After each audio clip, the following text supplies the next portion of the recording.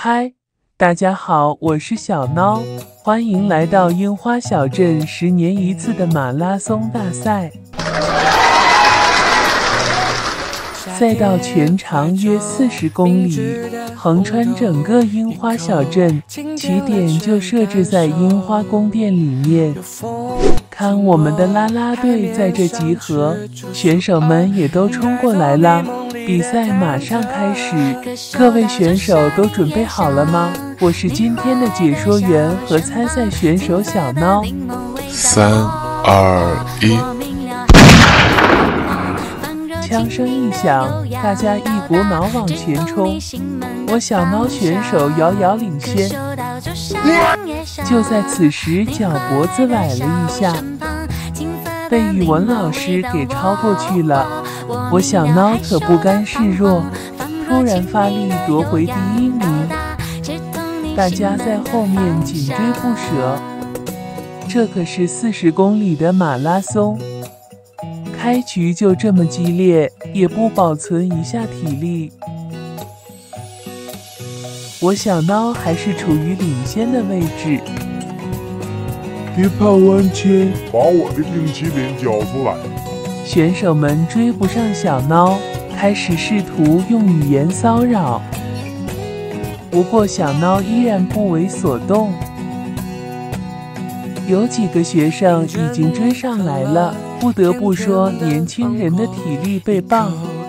跑了这么久，依然没有慢下来的意思。这这这是二狗选手。他突然冲了起来，眼看着就要超越小猫了，可还是差一点啊！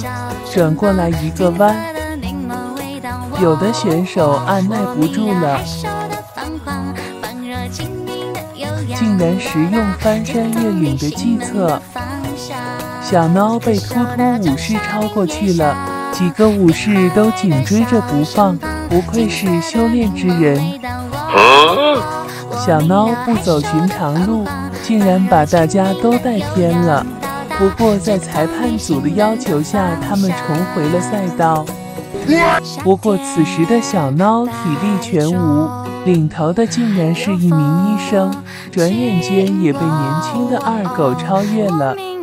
过了前面这个路口，就到了马拉松赛程的后半段。大家都拼尽了全力啊！二狗果然不负众望，冲到第一名。粉色的亚由美竟然也在领先位置。他们冲进来学校，胜负马上就要揭晓了。他们的家人、粉丝都在终点等候。大部队已经冲出了学校。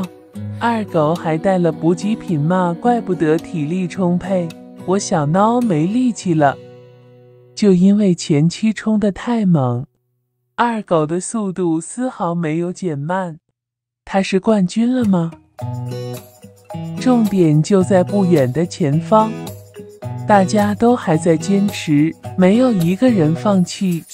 我看见了，我看见了，二狗冲过来了，太厉害了，遥遥领先。女孩激动地在终点等待。不料绿毛突然加速，超过了二狗和众多选手。第二名是女孩的爸爸，二狗获得了第三名。